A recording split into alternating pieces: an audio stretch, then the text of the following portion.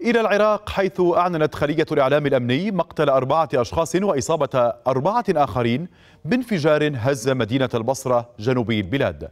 ووفق الخلية فإن الانفجار وقع إثر تفجير دراجة نارية في تقاطع الصمود في المحافظة. ورجحت مصادر طبية ارتفاع عدد الضحايا في ظل وجود مصابين في حالة خطرة.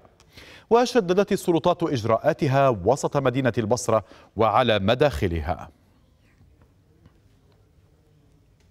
ومعنا من بغداد مراسلنا حيدر الأسدي قبل وقوع هذا التفجير في البصرة. كان هنالك تنفيذ ونجاح لخطة أمنية في مواجهة الجماعات المتطرفة. أي بصمات يحمل هذا التفجير وأي رسائل من حيدر؟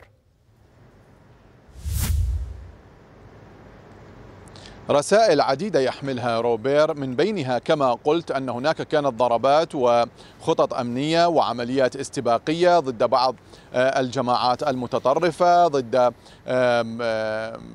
جماعات الجريمة المنظمة ضد مروجي المخدرات وتجار وتجار المخدرات. وبالتالي قد يندرج هذا الموضوع أو هذا التفجير الذي حصل اليوم والذي أوقع أربعة قتلى وأربعة الجرحى قد يندرج ضمن محاولة إلهاء القوات الأمنية وحرف أنظارها من متابعة العمليات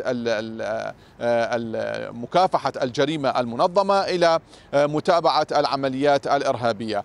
هذه هذه إحدى الرسائل التي يمكن قراءتها من خلال تفجير هذا اليوم وأيضا هناك رسائل عديدة من بينها أن الخطط الأمنية تحتاج إلى متابعة باستمرار وأن الجهد الاستخباري يجب أن يكون أكبر من ذلك للحفاظ على المكتسبات الأمنية التي حققتها القوات الأمنية بمختلف صنوفها في محافظة البصرة والإبقاء على هذه المحافظة محافظة هادئة نسبيا بعيدة عن الاضطرابات الأمنية وبعيدا عن التفجيرات الإرهابية. حتى هذه اللحظة التحقيقات لا تزال مستمرة وأيضا لم تعلن أي جهة مسؤوليتها عن تنفيذ هذا الهجوم آه الذي أوقع كما آه قلنا عددا من القتلى والجرحى وبدد أجواء الهدوء التي كانت تعيشها محافظة البصرة. هناك إجراءات أمنية مشددة الآن آه تفرض على عند مداخل ومخارج هذه المحافظة وفي داخل المدينة أيضا في محاولة لتعقب من يقف وراء هذا الهجوم وفي محاولة لتعقب الجنات. التحقيقات لا تزال مستمرة كما قلنا وحتى هذه اللحظة لم تكشف